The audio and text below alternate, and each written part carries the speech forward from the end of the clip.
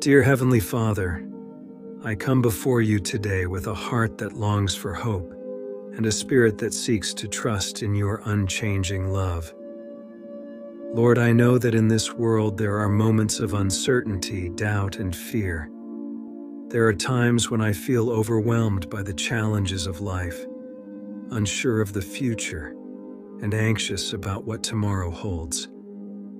But today, I choose to turn my heart and mind toward you, the one who holds all things together, the one who never changes, the one who knows the beginning and the end. Father, I ask for your grace to fill my heart with hope.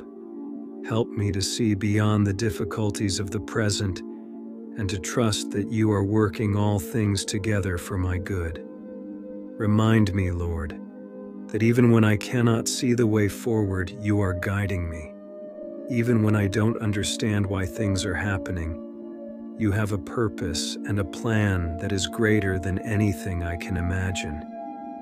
Give me the faith to trust in your promises, knowing that you are faithful to fulfill every word you have spoken. Lord, I ask for the strength to hold on to hope even when life feels heavy.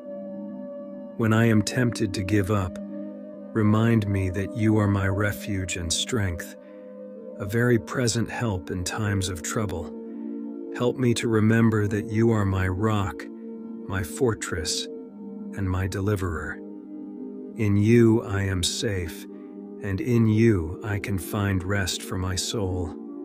Please help me to keep my eyes fixed on Jesus, the author and perfecter of my faith knowing that he has overcome the world and that in him I too am more than a conqueror.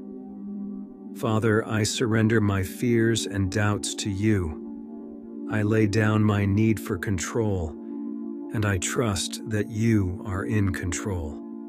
Help me to rest in the knowledge that your plans for me are good, that you are always with me, and that you will never leave or forsake me. Let your peace, which surpasses all understanding, guard my heart and mind in Christ Jesus. Thank you, Lord, for the hope I have in you. Thank you for your unfailing love, your unshakable promises, and your endless grace. I trust that you are working in my life, even when I cannot see it, and I believe that you have a future full of hope for me.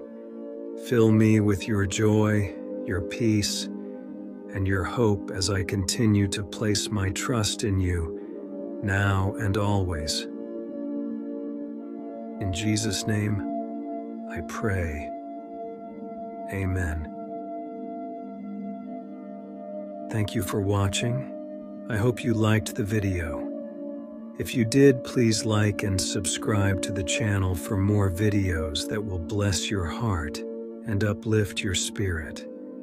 Please feel free to leave your prayer request in the comment section so that I can present them before God for your blessings and victory. May the love and grace of our Jesus Christ be with you all.